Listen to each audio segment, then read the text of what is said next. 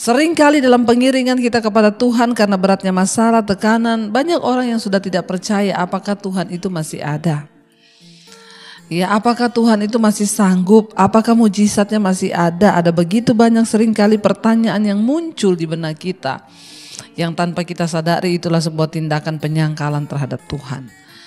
Saudara seberat apa pun masalahmu hari ini mari perkatakan. Baik kita akan membaca firman Tuhan hari ini. Firman Tuhan hari ini terambil dari Ibrani pasal yang ke-11 Saudara. Ya Ibrani pasal yang ke-11 ayatnya yang ke Ya sebentar Ibrani 11 ayat yang ke 5 mulai. Ya, firman Tuhan berkata di sana Ibrani 11 ayat yang kelima, karena iman Henok terangkat supaya ia tidak mengalami kematian dan ia tidak ditemukan karena Allah telah mengangkatnya sebab, sebab sebelum ia terangkat ia memperoleh kesaksian bahwa ia berkenan kepada Allah. Ayat yang keenam, tetapi tanpa iman tidak mungkin orang berkenan kepada Allah. Sebab barang siapa berpaling kepada Allah, ia harus percaya bahwa Allah ada dan bahwa Allah memberi upah kepada orang yang sungguh-sungguh mencari dia. Saudara salah satu tokoh yang menjadi tokoh iman di dalam Alkitab yang tercatat dalam Ibrani pasal yang ke-11 ini dalam saksi iman adalah Henok. Firman ini berkata karena iman Henok terangkat ya supaya ia tidak mengalami kematian dan ia tidak ditemukan karena Allah telah mengangkatnya. Sebab sebelum ia terangkat ia memperoleh kesaksian bahwa ia berkenan kepada Allah. Saudara, Ya, salah satu orang yang tidak mengalami kematian di dalam Alkitab yaitu Henok karena dia diangkat oleh Allah. Ya, ini adalah sebuah hal yang sangat luar biasa yang bisa kita lihat Saudara ya bahwa Henok mengalami sesuatu yang luar biasa, dia tidak mati tetapi dia diangkat oleh Tuhan.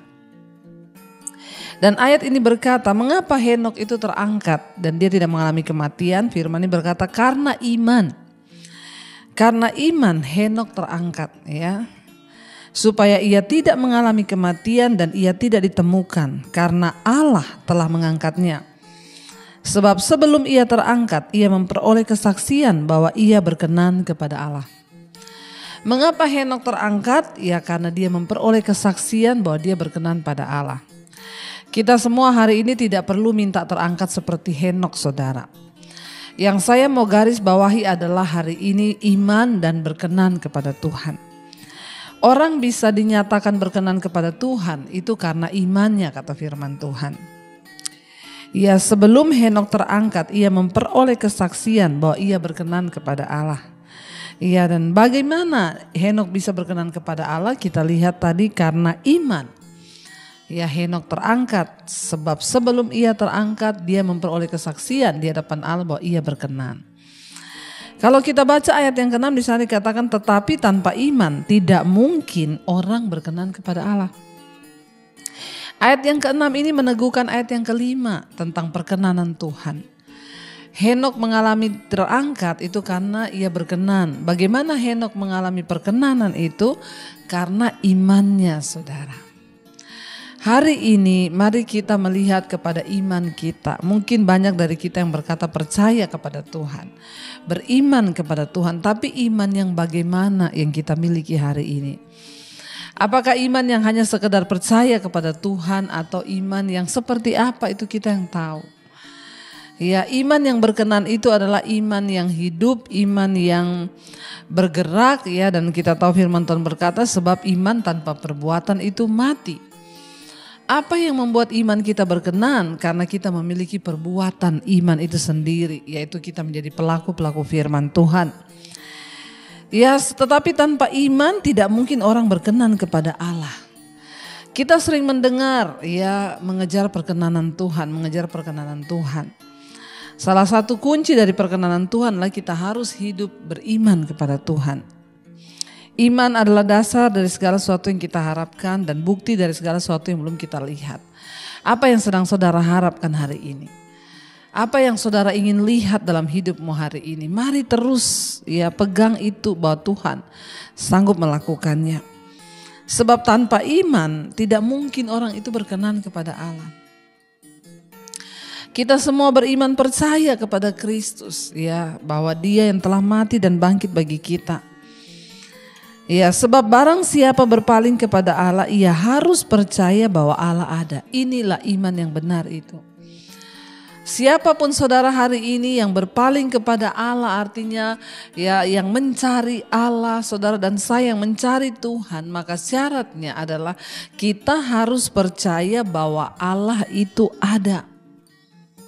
Seringkali dalam pengiringan kita kepada Tuhan karena beratnya masalah, tekanan, banyak orang yang sudah tidak percaya apakah Tuhan itu masih ada.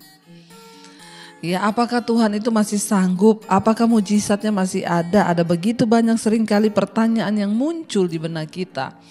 Yang tanpa kita sadari itulah sebuah tindakan penyangkalan terhadap Tuhan. Saudara seberat apa pun masalahmu hari ini mari perkatakan, Tuhan aku sudah berpaling kepadamu. Aku harus percaya bahwa engkau itu ada. Jangan punya iman yang setengah-setengah.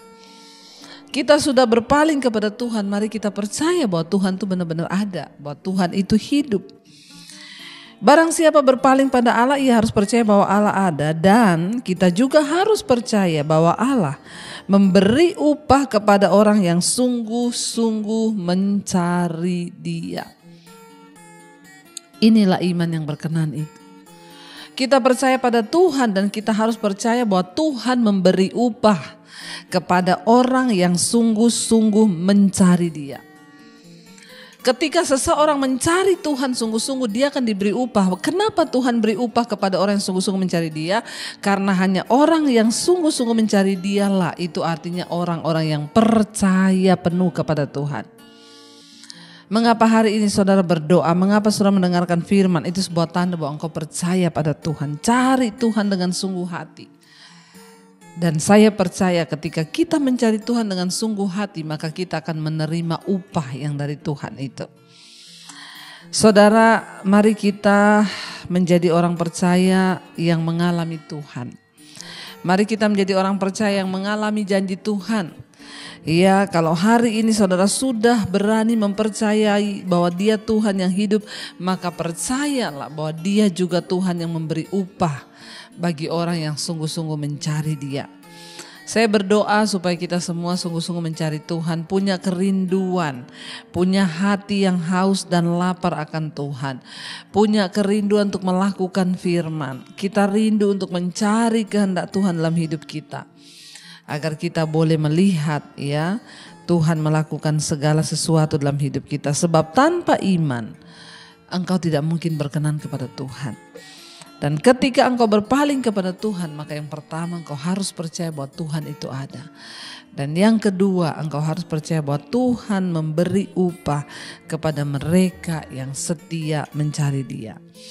Mari saudara kita coba cek hati dan hidup kita, apakah kita sudah sungguh-sungguh mencari Tuhan? Apakah hanya separuh-separuh mencari Tuhan? Waktu kita sungguh-sungguh mencari Tuhan, maka kita akan memperoleh upahnya dari Tuhan juga.